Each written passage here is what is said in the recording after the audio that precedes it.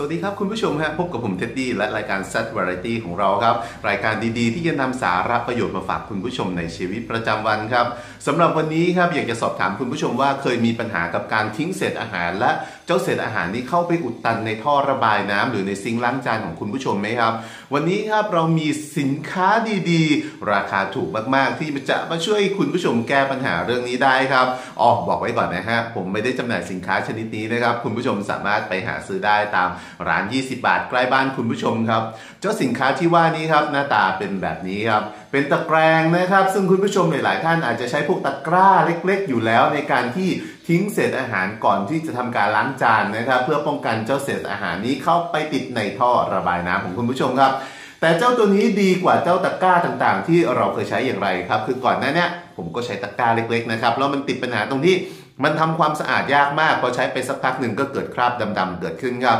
จ้าตัวนี้นะครับเป็นลักษณะเหมือนกระชอนเลยฮะคุณผู้ชมครับนี่เห็นไหมนี่เป็นแบบนี้นะฮะลักษณะเหมือนกระชอนนะครับ มีขาตั้ง 4 อันนะครับ ก็คือถ้าเป็นพื้นเรียบๆเนี่ยตั้งก็ไปอยู่ได้สบายเลยนะครับ แล้ววิธีการใช้งานก็แสนจะง่ายได้ครับ ผมเพียงแต่วางทิ้งไว้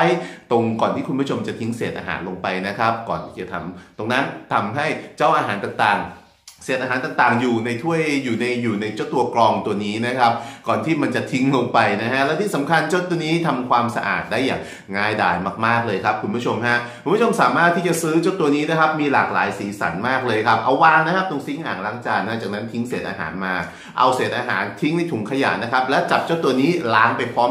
กันกับจานของเราเลยฮะถ้วยจานของเราครับทำให้ปัญหาเรื่องท่ออุดตันในจานของคุณอ่าในในอ่างล้างจานของคุณผู้ชมจะไม่มีปัญหาอีกต่อไปเลยครับ เจ้าตัวนี้ซื้อมาในราคา 20 บาทนะครับ คุณผู้ชมสามารถหาซื้อได้ตามร้าน 20 บาทใกล้บ้านคุณผู้ชมนะครับ ลักษณะแบบนี้เลยนะฮะมีหลายสีนะครับในใหญ่มากเลยพร้อมที่จะใช้งานได้อย่างดีเลยนะครับ ผมตรงนี้ฮะคุณผู้ชมฮะ ป้องกันปัญหาได้แน่นอนครับผม ลองใช้กับตัวเองมาแล้วเลยเอามาบอกต่อให้กับคุณผู้ชมครับ อย่าลืมฮะ20 บาทเท่านั้นครับผม บ๊ายบายฮะ แล้วพบกับผมใหม่ พบกับผมเท็ดดี้ใหม่อีกครั้งกับรายการ Set Variety ครับ บ๊ายบายฮะพูดก็ผิดเนาะ